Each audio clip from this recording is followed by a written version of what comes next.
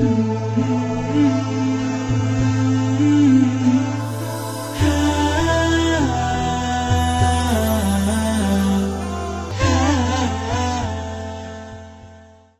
আলাইকুম রহমতুল্লাহ বারকাত বিসমিল্লাহ রহমান রহিম।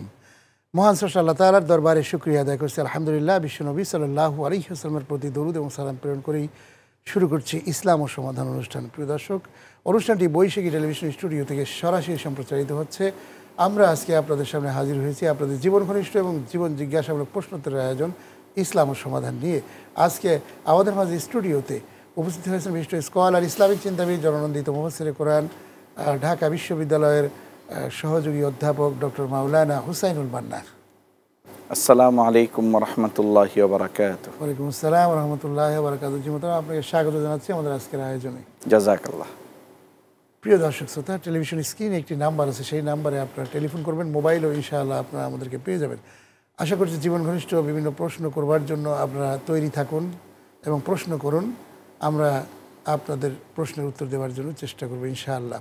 পবিত্র রমজান মোবারকের গুরুত্বপূর্ণ সময় আজকে অতিবাহিত হচ্ছে, বিশেষ করে আজকের দিনটি অনেক গুরুত্বপূর্ণ, বিশেষ করে জুমার দিন। জুমার দিন তো এমনিতেই গুরুত্বপূর্ণ, তারপরে হচ্ছে রমজান মাস। এই সব মিলে, এই এর গুরুত্ব, তাৎপর্য অনেক বেশি। সেই সময়ে আমরা আজকে আপনাদের সামনে আজকে হাজির হয়েছি। আপনারা আশা করছি রমজানের গুরুত্ব, তাৎপর্য উপলব্ধি করে আজকের এই জুমাবারের দিনটিকে যথাযথভাবে পালন করবার চেষ্টা করুন এবং আমরা সবাই করি। আল্লাহ রবুল আলমিন আমাদের সবাইকে তৌফিক দান করে আমরা আজকের এই আয়োজন শুরু করছি। জিমতরা আমরা শুরু করতে চাই যে আসলে আমরা তো রমজান মাস আমাদের যাচ্ছে, আমাদের প্রত্যেকটি কথা, কাজ, আচরণ সব মিলে ইসলামিক যে দৃষ্টিভঙ্গি, অর্থাৎ আল্লাহ রব্বুল আলমিন যেভাবে খুশি হন, সেই কাজগুলি করা দরকার। অন্যথায় আল্লাহ রব্বুল আলমিন হয়তো এই পবিত্র সময়ে, পবিত্র দিনে যদি কেউ কোনো মুখ দিয়ে কোনো খারাপ কাজ কথা উচ্চারণ করে, খারাপ দিকে চলে যায়, তাহলে সেই ব্যক্তি কিন্তু আল্লাহর যে নাজাদ পাওয়ার কথা ছিল সেদিক বাধাগ্রস্ত হয়ে যাবে। সেজন্য আপনার কাছে জানতে চাই যে ব্যবহারিক জীবন জিন্দিগিতে ইসলামের দৃষ্টিভঙ্গিগুলো কি কি? কীভাবে আমাদের নিজের জীবন এবং লাইফস্টাইল সাজাতে পারি? জীবনরাম জাজাকাল্লাহ নাহমাদুহনসল্লি আলা রসুলহিল করিম। আম্মাবাদ শুরুতেই আপনাকে ধন্যবাদ জানাই, কারণ এই বিষয়টি অত্যন্ত প্রাসঙ্গিক আমাদের জন্য। আমরা মুসলমান ঠিক আছে, এবং আমরা দাবিও করি মুসলমান, কিন্তু আমরা জজবায় থাকি সবসময়। ইসলাম জজবার নাম নয়, ইসলাম হচ্ছে আমলের নাম। রসুল পাক সাল্লাহ আলহি ওসাল্লাম সাহাবা ইকরামকে এইভাবে তৈরি করেছিলেন যে যে যতটুকু আমল জানতেন, তাই আমল করতেন। এরকম কি যে যেভাবে রসুল পাক সাল্লাহ সাল্লামকে দেখেছেন, তাই আমল করেছেন উনি? কোনো সাহাবি এসছেন, এসে দেখেছেন যে রসুল পাক সাল্লাহ আলী ওয়াসাল্লাম রুকুতে যাওয়ার আগে তকবির হাত উঠিয়ে উনি রুকুতে যান। তো এইভাবে উনি দেখে হয়তো রসুল পাক সাল্লাহ সাল্লামের সাথে কিছুদিন ছিলেন, পর উনি বাড়িতে চলে গেছেন। আর ওনার রসুল পাক সাল্লাহ আলি সাল্লামের কাছে ফিরে আসার সুযোগ হয়নি। কিন্তু পরবর্তীতে দেখা গেছে রসুল পাক সাল্লাহ ইসলাম রুকুতে যাওয়ার আগে হাত উঠান না। মদিনার শেষ জিন্দিগিতে। কিন্তু ওই সাহাবি বলেছেন রাই তো রাসুল আল্লাহি সাল্লাহ আলহি আসাল্লাম ফা আলা কাদা আমি আমার নবীজিকে এইভাবে কাজ করতে দেখেছি। এটা ওনাদের কাছে যে যতটুকু দেখেছে, যতটুকু জেনেছে, তার উপরে আমল করেছে। আমাদের বিষয়টা হয়েছে, আমরা অনেক জানি। কিন্তু আমলের দিকে আমরা এত সচেষ্ট নই। যেমন মনে করুন, দৈনন্দিন জীবনে ইসলামের দিকে যদি আমি তাকাই, সালামের কত গুরুত্বপূর্ণ একটা জিনিস। রসুল পাক সাল্লাহ ইসলাম বলেছেন, আসসালাম আলামান তারিফু আমাল্লা তারিফ। যাকে তুমি চিনো এবং যাকে তুমি চেনো না, সবাইকেই তুমি সালাম দিবা, এটা একটা মুসলমানের আলামত। আমরা অপরিচিত মানুষকে সালাম দিই না। এরকম কি? আশ্চর্যের বিষয় হচ্ছে যে অপরিচিত মানুষকে যদি আমরা সালাম দিই আমাদের সাথে যদি আমাদের ভাই বন্ধু থাকে তাহলে জিজ্ঞেস করে কে? যে চিনি না। চিনো না তাহলে সালাম দিয়েছ কেন? অথচ মুসলমানের এটা একটা আলামত যে যাকে উনি দেখবেন রাস্তায় তাকেই উনি সালাম দিবেন সালামের দ্বারা ইয়া করবেন। এবং হাদিস রয়েছে যে ইফসুস সালাম আম দেখা হলে সালাম দেওয়া এবং মানুষকে খানা খাওয়া জি জি আফসুস সালাম অতুতাইমুক্ত আম অসল্লু বিল্লাইল ওয়ান্নাসু নিয়াম তাদখুলুল জান্নাত সালাম তিনটা কথা বলা হয়েছে। একটা হচ্ছে আফসুস সালাম সালামের প্রচলন ঘটাও। অতুতাইমুক্ত আম আর মানুষকে তুমি আহার করাও। খানা খাওয়া খাওয়া খানা খাওয়াও। অসল্লু বিল্লাইল ওয়ান্নাসু নিয়াম আর রাত্রেবেলা নামাজ পড়ো যখন মানুষ ঘুমায় থাকে এই তিন কাজ জমি মৌনি- মমিন তুমি করতে পারো যদি তাত খুলুল জান্নাতা সালাম তাহলে তুমি শান্তির সাথে জান্নাতে প্রবেশ করো। তো এই জায়গার মধ্যে যে আফসুস সালাম বলা হয়েছে যে সালামের প্রচলন ঘটাও। এই সালামের প্রচলন ঘটানো মানে অন্যের হিত কামনা করা। একজন মুসলমান সে আমাকে অন্যকে সালাম দিচ্ছে। এর অর্থ হচ্ছে আমি বাহ্যিকভাবে যেমন তোমার শান্তি কামনা করছি আল্লাহর রহমত আমি ভিতর থেকে আমার কোনো হিপোক্রেসি নাই। আমি ভিতর থেকেও তোমার আল্লাহ সুবাহানা হুয়া তাআলা শান্তি এবং তোমার নিরাপত্তা কামনা করছি। একজন মুসলিম মুসলমানের শব্দের অর্থই হলো শাব্দিক অর্থ পারিভাষিক না। মান আসলামান নাস যে মানুষকে নিরাপদে রাখে। এটা হচ্ছে মুসলমানের গুণ। তো সুতরাং সালামের প্রচলন ঘটানো, তার সাথে সাথে আমাদের ইবাদত, ইবাদাগুলি হয়ে গেছে আপনার সাপ্তাহিক অথবা বাৎসরিক। অথচ মুসলমানের আল্লাহ তাআলার সাথে সম্পর্ক হচ্ছে প্রতিদিনের এবং প্রতিদিন একবার নয়, অন্তত পাঁচবার আল্লাহ সুবাহানা হুয়া তাআলার সাথে সাক্ষাতের কথা বলা হয়েছে। আল্লামা ইকবাল বলেছিলেন এক কবিতার মধ্যে যে, মমিন, তোমাকে মোয়াজ্জিন ডাকে তোমার বাড়ি তোমার অফিস কত কাছে? সেখান থেকেই তুমি আল্লাহর ডাকে সাড়া দিতে পারো না। আর আল্লাহ যখন জান্নাত থেকে তোমাকে ডাক দিবেন তুমি কবর থেকে কীভাবে সাড়া দিবা? এই যে একটা বাস্তবতা আসলে। অনুভূতি। অনুভূতি। এটা আমাদের সৃষ্টি করার দরকার। যে পাঁচ ওয়াক্ত নামাজ আমাদের দেখা যায় যে বাংলাদেশে আমরা যারা আছি তারা অনেক সময় এটা পালন করি না। অথচ ইউরোপ আমেরিকাতে যে সমস্ত মুসলমান ভাইরা আছে এরকম কি আমাদের আত্মীয় স্বজন যারা ইউরোপ আমেরিকাতে যায় তারা মুসলমানদেরকে দেখে তারা বিস্মিত হয় যে তারা কিন্তু তাদের প্রেয়ার টাইমে তারা ঠিকই চলে যাচ্ছে তারা নামাজ আদায় করতেছে। মানে প্র্যাকটিসিং মুসলিম যাকে বলে সেটা কিন্তু আমরা দেখতে পাই। আর আমাদের দেশে যেটা হয়েছে আমি অত্যন্ত দুঃখের সাথে বলছি যে প্র্যাকটিসিং মুসলমান কিন্তু কম। দেখা যায় যে ইয়াতে হয়ে যায় রমজানের প্রথমে শুরুতে তারাবির জন্য একেবারে গোটা মসজিদ ভরে বাইরেও মানুষ। কিন্তু এটা দুই একদিন পরেই আবার আমার এটা কেবল গতানুগতিক গিয়া হয়ে যায়। মানুষ কমতে কমতে কমতে কমতে শেষের দিকে দেখা যায় এক দুই লাইন মুসলমান ইয়া আছে। মানে তারাবি পড়ানেওয়ালা আছে। অনুরূপভাবে জুমায় প্রত্যেক দিন প্রত্যেক জুমাতে কিন্তু আমাদের মসজিদগুলি ভরে যায়। আমরা পাঁচ অক্ত নামাজের মধ্যে কিন্তু এটা পাই না। তো সুতরাং জুমা যখন পাঁচ অক্ত নামাজের মতো জুমার মানুষগুলো যখন হবে তখন আমার বোঝা যাবে যে আমার সমাজে ইসলামের ইম্প্যাক্ট হচ্ছে ইসলামের প্রতিফলন ঘটছে আমাদের। আমাদের জীবনে আমরা কিন্তু এটার খুবই অভাব আমাদের যে আমরা জীবনের এবাদতকে ইসলাম মানাকে সাপ্তাহিক বানিয়ে নিয়েছি। আরও দুঃখের বিষয় হয়েছে অনেকে সাপ্তাহিক না বাৎসরিক বানিয়ে নিয়েছেন। কেবলমাত্র ঈদের নামাজ পড়েন ওনারা। এবং বাসায় যায় নামাজ আছে কোরআন শরীফ আছে এগুলি দেখা যায় যে রমজান ছাড়া এগুলাকে পরিষ্কার করা আচ্ছা আমরা একটা টেলিফোনে দর্শক লাইনে রয়েছেন। জি আসসালামু আলাইকুম রহমতুল্লাহ ওয়ালাইকুম আসসালাম রহমতুল্লাহ জি কে বলছেন? কোথা থেকে? নাম বলে প্রশ্ন করুন। জি হুজুর আমি বলুন। আমি মিরপুর থেকে বলছি আমার নাম লাভলি রেহানা পারভিন লাভলি। অনেক ধন্যবাদ। আমার মার্কেটে একটা দোকান আছে। আমার ওখানে দুইটা তিনটা মেয়ে কাজ করে এখন আমি তারাবের নামাজ বাসায় তো পড়তে পারি না। আচ্ছা। আমার দোকানেই পড়তে হয়। তা আমি কি বিশ রেখাতে আট রেখাত পড়তে পারব? জি। আরেকটা পড়তে পারব কিনা? হ্যাঁ আচ্ছা আচ্ছা। ঠিক আছে বুঝতে পেরেছি। জি। জীবন বলুন আরেকটি প্রশ্ন। প্রশ্ন হলো আমার দোকানে মানে লেডিস আইটেম ছোট ছোট কাপড়। এখন আমি এই জাকাতটা কীভাবে দিব? আচ্ছা। এইটা আমি হিসাব কি করে করে আমি জাকাত দিব? আমাকে সমাধান দেন। আচ্ছা আচ্ছা ঠিক আছে অনেক ধন্যবাদ অনেক ধন্যবাদ। আসুন আমরা আপনার প্রশ্নের উত্তরে চলে যাচ্ছি। জি মোহতারাম আসলে উনি নামাজ আমার বোনকে আমি ধন্যবাদ জানাই অত্যন্ত গুরুত্বপূর্ণ একটি প্রশ্ন উনি করেছেন। জি। দেখেন রসুল পাক সাল্লাল্লাহু আলহি ওয়াসাল্লামের তারাবির ব্যাপারে একাধিক মত রয়েছে। একটা হচ্ছে আট বারো বিশ বত্রিশ এবং চল্লিশ রাকাত। এই পাঁচটা মতামত রয়েছে। এর মধ্যে হজরত উমর রাজি আল্লাহ তালা আনহু সমস্ত সাহাবা ইকরামের উপস্থিতিতে বিশ রাকাতের যে রেওয়ায়তটিকে আছে সেটিকে প্রাধান্য দিয়েছেন। এরপর থেকে কারও আর কোনো ইখতিলাফ হয়নি। একেবারে তেরোশো বছর পরে নাসির উদ্দিন আলবানি উনি অনেক বিজ্ঞ মানুষ ছিলেন। উনি এসছেন এবং উনি আট রাকাতের মতামতটিকেও উল্লেখ করেছেন।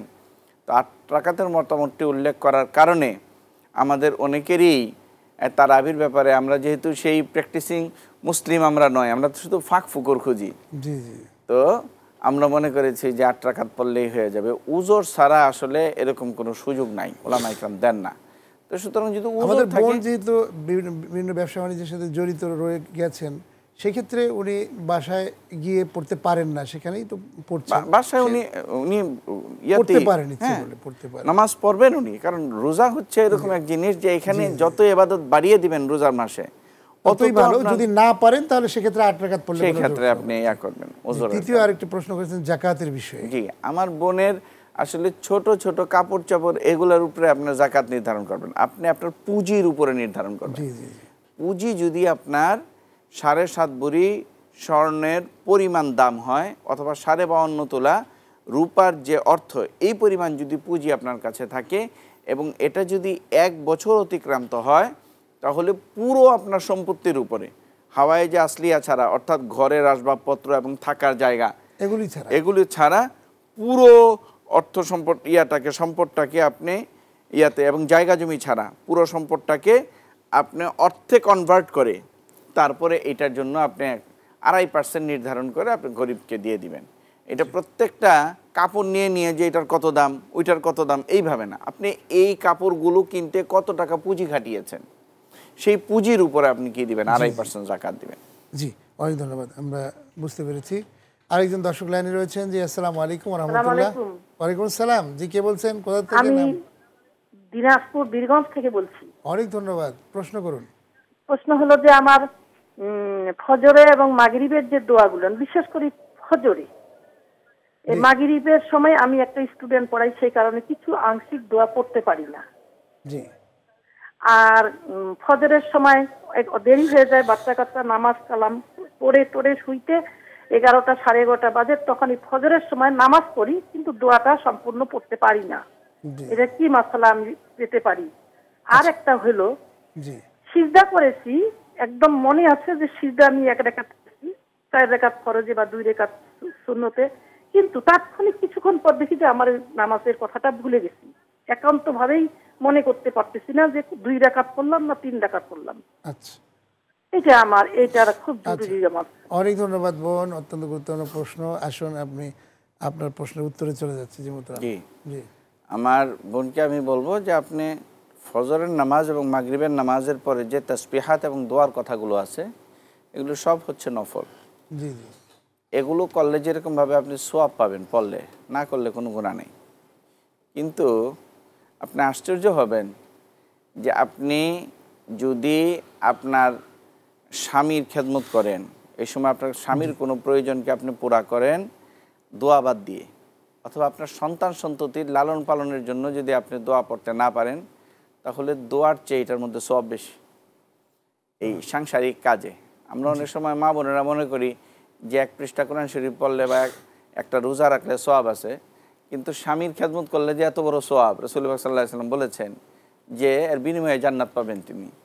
যদি আমাদের মা বোনেরা পাঁচ অক্ত নামাজ পড়েন আর নিজের লজ্জাস্থানকে হেফাজত করেন এবং স্বামীকে সন্তুষ্ট রাখেন তাহলে এর বিনিময় হচ্ছে ওনাদের জান্নাত। জি। তাই এই বিষয়গুলি দোয়াগুলো যেটা আছে ব্যবহারিক মানে নামাজের শেষে যে দোয়াগুলোর পড়ার ক্ষেত্রে। জি এটাই বলছিলাম যে এটা যে আপনার পড়লে আলহামদুলিল্লাহ আপনি সব বেশি পাবেন। না পড়লে যে গোনা হবে এমন এমন নয়। দোয়াগুলোর ক্ষেত্রে কোনো গোনার কিছু নেই। গোনার কিছু নেই নাই। তো সুন্না পড়লে যত বেশি আল্লাহর হ্যাঁ। অথবা ওই কাজটা করে আবার আপনি দোয়া পড়বেন। অসুবিধা তো নাই। এরকম না যে ফজরের দোয়া আপনি ফজরের নামাজে বসেই আপনার পড়তে হবে এরকম জরুরি বিষয় না। আপনি কাজটা করে আবার দোয়াটা পড়বেন। আমাদের বোন দ্বিতীয় প্রশ্ন করেছে যে নামাজের মধ্যে যে সেজদার মধ্যে উনি চলে যান তখন দেখা যায় উনি ভুলে যান অনেক সময় যে দুই রাকাত পড়েছি কি তিন রাকাত পড়েছি। এই যে ভুলে যাওয়ার ক্ষেত্রে মানে নিয়মটা কি হবে? জি। আমার বোনের এই প্রশ্নটার জন্য আমি আমার বোনকে বিশেষভাবে ধন্যবাদ জানাই কারণ এটা অনেকের সাথেই ঘটে। হাদিসের মধ্যে এসছে যে যখন এই জিনিসটা জীবনে একবার হবে তখন উনি নামাজকে আবার দৌড়ায় নেবেন। আর যদি বারবার এরকম হয় তাহলে সেই ক্ষেত্রে উনি নামাজের মধ্যে চিন্তা করবেন যে তিন রাকাত না দুই রাকাত? যে জিনিসটা বেশি জি যে জিনিসটা মনে হবে যে না আসলে কমটা উনি সবসময় ধরবেন এই ক্ষেত্রে। যেমন তিন রাকাত দুই রাকাত এই ব্যাপারে ওনার কনফিউশন আছে। তাহলে উনি দুই রাকাতকে ধরে নেবেন। যদি চার রাকাত তিন রাকাতের ব্যাপারে ওনার কনফিউশন থাকে তাহলে উনি তিন রাকাতকে ধরে নেবেন। কিন্তু যদি মনে করতেছেন যে এক রাকাত হয়েছে জি। কিন্তু দুই রাকাত হয়েছে কিন্তু দেখা যাচ্ছে মনে মনে ভাবতেছেন যে না হ্যাঁ, নামাজ যেইটা এক ওনার মনটা যেটা বেশি সায় দিবে উনি ওইটার উপরে আমল করবে। যদি এক রাকাত হয় তাতেও সমস্যা নেই। না না। আচ্ছা। আর এই জন্য আবার সেজদায় সহু লাগবে না। যে সন্দেহ আসছিল এই জন্য একটা সেজদায় সহু দিয়ে দিই। এটা কিন্তু না। সেজদায় সহু হচ্ছে আপনি যদি ইয়াকিন হয় আপনি কোনো ওয়াজিবকে ছেড়ে দিয়েছেন অথবা বাড়িয়েছেন তাহলেই একমাত্র সেজদায় সহু ওয়াজিব হয়। এই রাকাতের ক্ষেত্রে তো এটাও তো একটা গুরুত্বপূর্ণ বিষয় যে একটা ভুলে গিয়েছেন যে একটা রাকাত এটা সেজা দেওয়া হয়নি। মানে এক রাকাত পড়েছেন। তো এই অবস্থায় তো আরেক আরেক রাকাত পড়ে নেওয়াটা উত্তম হবে মনে এই জন্যই রসুল ভাগ সাল্লাহ সাল্লাম বলেছেন কম হবে। এটা সিদ্ধান্ত হাদিসের মধ্যে। যে কমটা উনি ধরবেন। ধরে উনি আদায় করে ফেলবেন কিন্তু সজদায় সহু দরকার নাই দরকার হবে না। কারণ নামাজের মধ্যে আপনার শয়তান ওয়াসওয়াসা দেন। এবং এই ওয়াসওয়াসাকে যদি আপনি পাত্তা দেন এক সময় এই ওয়াসওয়াসা এই মারাত্মক আকার ধারণ করবে যে আপনি দুই ঘন্টায় নামাজ শেষ করতে পারবেন না। অজুর মধ্যে শয়তান ওয়াসওয়াসা দেয় যে তিনবার ধোয়া হইল কি হইল না। এই অঙ্কটা ভালো করে হইল কি না এক লোম পরিমাণ থাকলেই তো অজু হবে না। এই ওয়াসওয়াসা শয়তান এইভাবে দেন যে আপনি বারবার অজু করেও আপনার অজুরিয়া হবে না। তো রসুল বাক সাল্লাহ সাল্লাম বলেছেন যে এই ওয়াসওয়াসাগুলি শয়তানের পক্ষ থেকে তুমি এই ওয়াসওয়াসাকে কোনো পাত্তাই দিবা না। পাত্তা না দিয়ে আমরা যদি কিছুদিন এইভাবে আমল করতে থাকি তাহলে দেখব যে শয়তানের পক্ষ থেকে এই ওয়াসওয়াসা চলে যায় কারণ শয়তান নিরাশ হয়ে যায় তখন। আমরা অত্যন্ত গুরুত্বপূর্ণ বিভিন্ন বিষয় নিয়ে আপনার মাধ্যমে কথা শুনছিলাম। আমরা শুরু করেছিলাম যে ব্যবহারিক জীবন জিন্দিগিতে ইসলাম। হাদিস শরীফে তো এরকম রয়েছে যে যেই ব্যক্তির কথার মাধ্যমে অন্য কোনো মুসলিম বা অন্য কোনো মানুষ নিরাপদ নয় সেই ইমানদার নয়। এই যে একটা চরম কথা এটা তো নিরাপত্তা তো শুধুমাত্র কাউকে মার দিলাম কাউকে আঘাত করলাম এ- এটাই না। মানুষের মুখ দিয়ে কটু কথা বলে কাউকে একটু কষ্ট দেওয়া কাউকে একজন অফিসের বস তার অধীনস্থকে তার সাথে রাব ব্যবহার করা সে মনে কষ্ট পাওয়া সেও তো একটা নিরাপত্তার বিষয়। এই সব মিলে এই হাদিসের গুরুত্বের আলোকে যদি আপনি কথা বলতেন। একজন দর্শক টেলিফোন অপেক্ষা করছে আমরা ফোনটি নিয়ে নিচ্ছি। একজন দর্শক জি আসসালামু আলাইকুম রহমতুল্লাহ। জি আসসালামু আলাইকুম। জি ভালো আছেন স্যার হুজুর? জি আলহামদুলিল্লাহ। কে বলছেন কোথা থেকে? নাম বলে প্রশ্ন করুন। আমি ঢাকা থেকে বলতেছি কিলগাঁও তিরমুনি থেকে। জি অনেক ধন্যবাদ বোন প্রশ্ন করুন। স্যার আমার মিস ক্যারেজ হয়ে গেছে হুজুর কালকে। আমার বাচ্চাটা নষ্ট হয়ে গেছে। ওহো। জি। আর আমি রোজা রাখতে পারি নাই কালকে আমার অ্যাবর্শন করতে আমি রোজা ছিলাম। আমি এটা এই রোজাগুলো কীভাবে করব? জীবন অনেক ধন্যবাদ। আল্লাহ তালা আপনাকে ধৈর্য ধারণ করার তৌফিক দান করুক এবং আপনি সিয়াম পালন করছেন।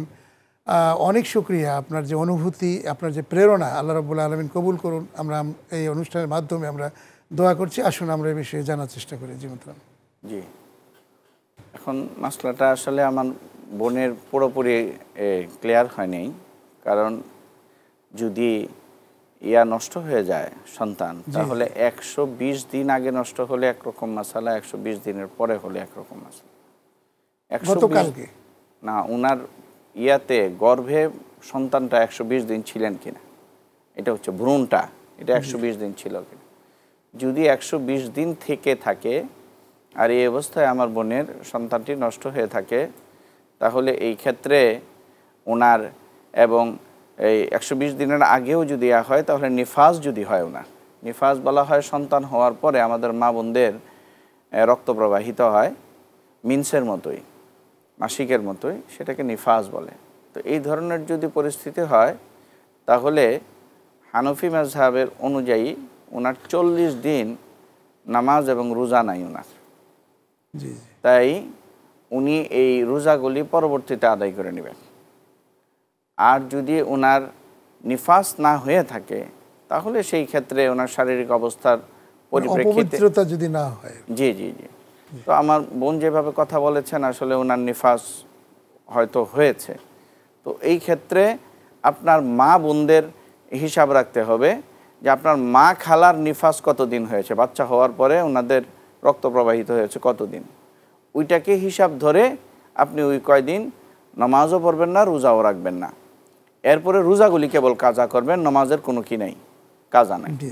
এটা হচ্ছে মূল মাসালা আর কি এক্ষেত্রে জি অনেক ধন্যবাদ। আহ, জি মোতারাম আমরা জানার চেষ্টা করছিলাম যে আসলে যে প্রশ্নটি আপনার কাছে করা হয়েছিল সেটা আলোকে যদি আপনি কথা বলেন যে জি। তো হাদিসটি হচ্ছে আল মুসলিমু মান সালিম আল মুসলিমুন আমিল লিসানিহি ওয়াইয়াদিহি ওয়ান্নাসি আজমাইন। যে প্রকৃত মুসলমান তো সেই যার হাত, হাতের আচরণ থেকে এবং জবানের আচরণ থেকে তার অন্য মুসলমান ভাই এবং সমস্ত মানুষ নিরাপদে থাকে। তো সুতরাং রমজান চলতেছে। রমজানের ব্যাপারে তো রসুল পাক সাল্লাম বলেছেন এই কথা যে প্রকৃত রোজাদার যে, সে কাউকে কষ্ট দিবে না কারোর সাথে ঝগড়ায় লিপ্ত হবে না। কেউ যদি বলে, কেউ যদি তার সাথে ঝগড়ায় লিপ্তও হয় উনি বলবেন ইন্নি সোয়াইম আমি রোজাদার আমি তোমার সাথে ঝগড়া করতে পারব না। জি মোতারাম আমরা একটি ফোন নিচ্ছি দর্শক লাইনে রয়েছেন। জি আসসালামু আলাইকুম। জি কে বলছেন কোথা থেকে নাম বলে প্রশ্ন করুন। কুষ্টিয়া থেকে বলছি হাবিবুল ইসলাম। অনেক ধন্যবাদ ভাই প্রশ্ন করুন। স্ত্রীর জন্য স্বামী যদি দোয়া করে আর সেই স্ত্রী যদি স্বামীর জন্য মৃত্যু কামনা করে তাহলে এটা যে ইসলাম কি বলে? স্বামী স্ত্রীর জন্য দোয়া করছে জি। আর স্ত্রী স্বামীর জন্য স্বামী- মৃত্যু কামনা করছে। স্বামী। এটাই তো। জি না স্বামী মৃত্যু স্ত্রীর জন্য দোয়া করছে আর স্ত্রী স্বামীর জন্য মৃত্যু কামনা করছে। আচ্ছা আচ্ছা বুঝতে পেরেছি। জি জি জি অনেক ধন্যবাদ। স্ত্রী মৃত্যু কামনা করছে। আর স্বামী স্ত্রীর জন্য দোয়া করছে। এটাও আমাদের যে আজকের আলো মানে সাবজেক্ট বা আলোচনা জি জি। এটার সামঞ্জস্য রয়েছে। জি জি। যিনি দোয়া করতেছেন উনি তো অবশ্যই এর যাজা পাবেন, নেকি পাবেন। আর যেই বোন মৃত্যু কামনা করতেছেন, এটা আসলে ওনার অভিমান। কারণ মহিলাদের মহিলাদের সবচেয়ে নিরাপদ স্থান হচ্ছে আপনার স্বামী তার। এবং এই জন্যই রসুল পাক সাল্লাহ আলিহি ওয়াসাল্লাম আল্লাহর পক্ষ থেকে স্ত্রীর জন্য স্বামীর এরকম এরকম মর্যাদার কথা বলেছেন। এবং আসলেই আপনি সামাজিকভাবে দেখেন যে আমাদের বোনদের কত একটা সাপোর্ট হয় যদি ওনার সাথে ওনার একজন ইয়া থাকে এবং সামাজিকভাবেও কিন্তু উনি স্ট্রং থাকেন তো সুতরাং আমার বোন যদি মানে বাহ্যিকভাবে এটা বলে থাকেন, আসলে মনের থেকে এটা ওনার কথা না। আর মনের থেকে কেউ যদি বলেন, তাহলে উনি বিকারগ্রস্ত, উনি পাগল হয়ে গেছেন। এখন ওনার ওইটার চিকিৎসা করতে হবে। যে ওনাকে কোনো মানসিক ডাক্তার দেখাইতে হবে যে স্বামীর সাথে থেকেও স্বামীর মৃত্যু কামনা করতেছে। এইটাও হইতে পারে যে স্বামীর সাথে তার অ্যাডজাস্ট হচ্ছে না। তাহলে ইসলামে তো আবগাজুল হালাল আইন্দাল্লাহি আর তালাক আছে। যে আল্লাহ ওয়া কাছে সবচেয়ে অপছন্দনীয় জিনিস হচ্ছে তালাক এবং বিচ্ছেদ বিবাহ বিচ্ছেদ। এটা এই কারণে যে স্বামী স্ত্রী যদি থাকতে থাকতে একজন আরেকজনের ব্যাপারে এরকম হয়ে যায় যে একজন আরেকজনকে হত্যা করার মতো অবস্থা গেছে যার জি, থেকে আমি ছুটকারা পাইতে চাই। এই অবস্থার মধ্যে কিন্তু তালাকের অনুমতি আছে। যে আমার বোন বিচ্ছেদ নিয়ে নেবেন উনি। উনি কথা বলে ওনার হাজব্যান্ডের সাথে। আর আজকাল তো বিয়ের প্রথম দিনেই যখন কাবিনে সিগনেচার করা হয় আঠারো নম্বর ইয়াতে থাকে যে আমাদের মা বোনদেরও তালাক দেওয়ার অধিকার আছে। তো ওই হিসাবে উনি কি নিয়ে নেবেন? বিচ্ছেদ উনি গ্রহণ করে নেবেন। তাই এই বিষয়টা এইভাবেই দেখতে কিছু হবে। বিষয় আছে যেগুলিকে আমরা আসলে খুব সহজভাবে নেই। আসলে যখন একটি বিয়ে সম্পাদন হয় তখন কিন্তু বিয়েটাকে দুজনের মধ্যে একটা বোঝাপড়ার মাধ্যমে অবশ্যই। হওয়া উচিত। বাবা বলল মা বলল হঠাৎ চলো গিয়ে কাজ করে ফেলি এরকম না আমাদের এই যে বোঝাপড়ার অনেক সমস্যা আর দ্বিতীয় নম্বর হচ্ছে যে আমাদের সমাজের মধ্যে একটা অপকালচার চালু হয়ে গেছে যে বিশেষ করে এগুলো হচ্ছে অপসংস্কৃতি বিভিন্ন জায়গা থেকে আমদানি আজকে মিডিয়ার মাধ্যমে বিভিন্ন ইয়ার কারণে এই যে ডিভোর্স কথায় কথায় ডিভোর্স। একটা নারী ইচ্ছে করলে ডিভোর্স দিতে পারে একটা পুরুষ ইচ্ছে করলে ডিভোর্স দিয়ে চলে যাচ্ছে এই যে একটা আর সবচেয়ে বেশি আরেকটা জিনিস আমরা দেখেছি বিশেষ করে একটা- যে বিবাহ সাদী যেখানে ইয়ে হচ্ছে যেখানে নিকাহ কাজী তাদের মাধ্যমে আমি জেনেছি যে বর্তমানে নারী কর্তৃক নারী কর্তৃক ডিভোর্সের সংখ্যাটা নাইনটি ফাইভ পার্সেন্ট। আর ফাইভ পার্সেন্ট বছরে বছরে ফাইভ পার্সেন্ট শুধুমাত্র পুরুষদের ক্ষেত্রে দেখা গেছে আর সব নারী নারীরাই দিচ্ছে ই করে। তো এটার একটা একটা ভয়াবহ দিক? যে আসলে বিষয়টা হচ্ছে কি যে আসলে তো আমরা ওই যে আপনি যেটা বলছিলেন যে প্র্যাকটিসিং মুসলিম না তো আমরা। আমরা তো ইসলামকে এইভাবে জানি না।